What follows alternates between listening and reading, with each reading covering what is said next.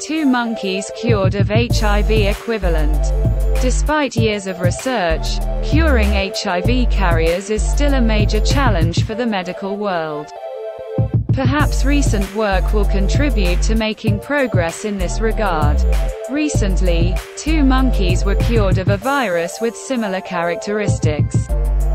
New research by scientists at Oregon Health and Science University may pave the way for the development of a therapy that scientists hope will become a widespread intervention for contracting the virus that causes AIDS.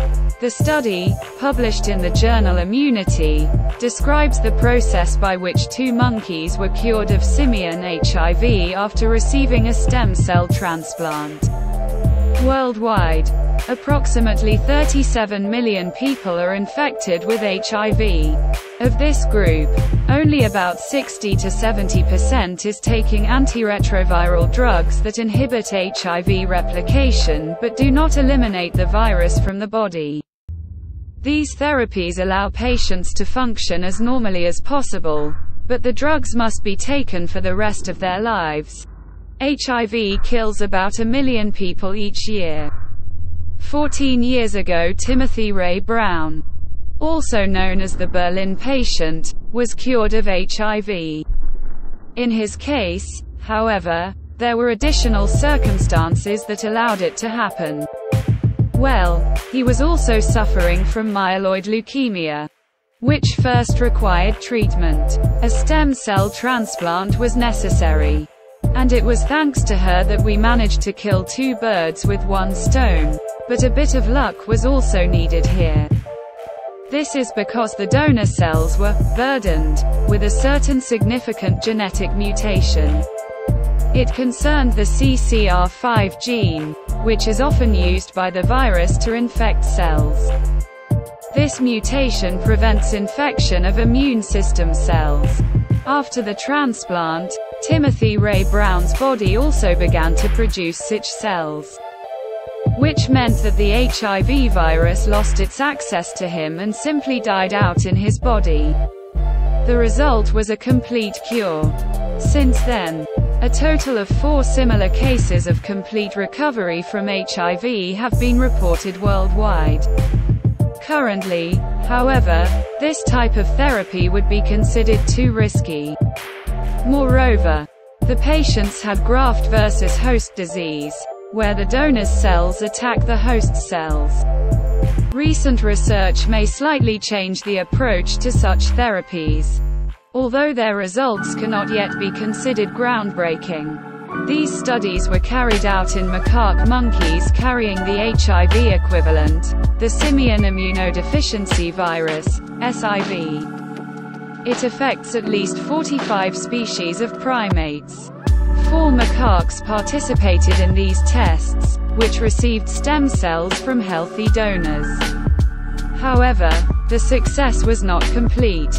While in the case of two monkeys with this method, they were cured of SIV and remained healthy for the next four years, in the case of the other two the disease relapsed. What exactly was going on in these monkeys? And why were these tests only half successful? First of all, the transplanted cells began to identify the virus as something foreign to the body and attacked it.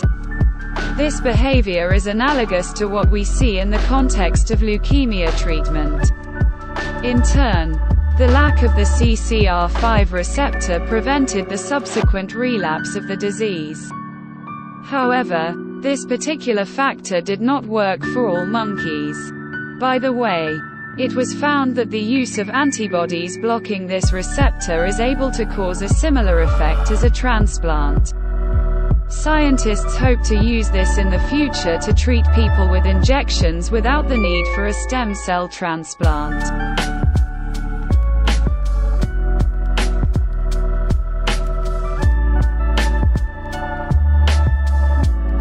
Ultra-precise prosthetic hand controlled by the mind.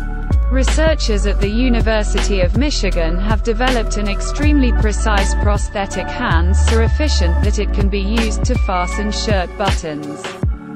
The work of scientists heralds a new generation of mind-controlled prosthetics and gives amputees the ability to better operate bionic limbs. A physically fit person performs his daily activities effortlessly and without thinking about the network of nerves needed to move his thumbs, fingers or hands.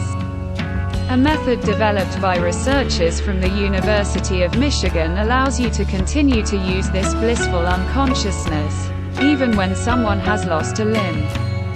All it takes is a learning algorithm and some grafted muscles. The new technology, described in an article published in the journal Science Translational Medicine, appears to be more effective than previous attempts to combine brain activity with prosthetic limb movement. The researchers achieved this through a new procedure that allows it to amplify nerve signals and better communicate with the bionic hand. The new method involves splitting the nerve bundles into smaller fibers that allow for more precise control and amplification of the signals passing through the nerves. The approach involves transplanting a small piece of thigh muscle and using machine learning algorithms borrowed from brain-computer interfaces. It acts as a megaphone for severed nerves, allowing participants to perform precise movements such as picking up a small object or moving a zipper. This is the biggest advance in motor control in amputees in many years, said Paul Cederna one of the paper's authors. We have developed a technique that allows precise and intuitive finger control of prosthetic devices using the remaining nerves in the patient's limb. As a result, we were able to provide the most advanced prosthetic control the world has ever seen. As the scientists admitted, the control of the prosthesis is intuitive and does not require learning. Works right away. You can make a prosthetic hand do a lot of things, but that doesn't mean the person is intuitively controlling it. The difference is that on the first try, it works just by thinking about it, and that's our approach, said Cindy Chestek, co-author of the study. Our approach worked on the first try. Participants in the experiments did not have to study. All learning takes place in our algorithms. This is what sets us apart from other approaches.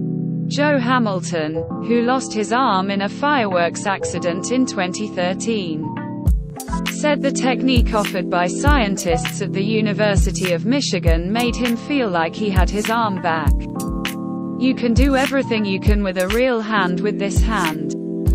It brings back a sense of normalcy, Hamilton said.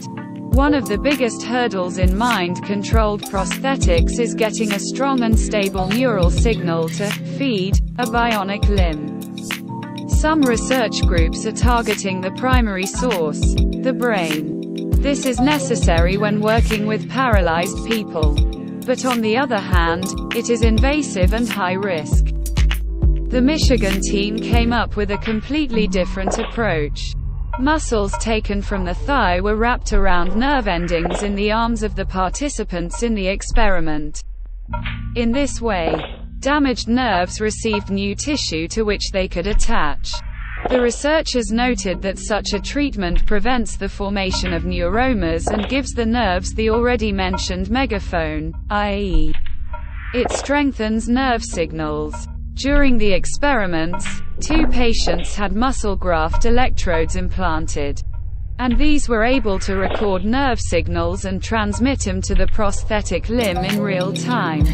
In this case, the muscle acts as a biological amplifier and makes the tension 10 to 100 times higher. I think it's safe to say that these are the largest neural signals ever recorded in a human, Chestek said. With other approaches, you can get 5 or even 50 microvolts. Using a biological amplifier, we saw the first millivolt signals. This opens up completely new possibilities for people using an upper limb prosthesis, she added.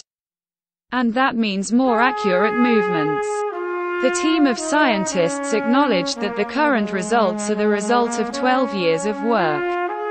The discovery of how to amplify neural signals will have far-reaching implications for prosthetics. We hope that one day it will become widely available.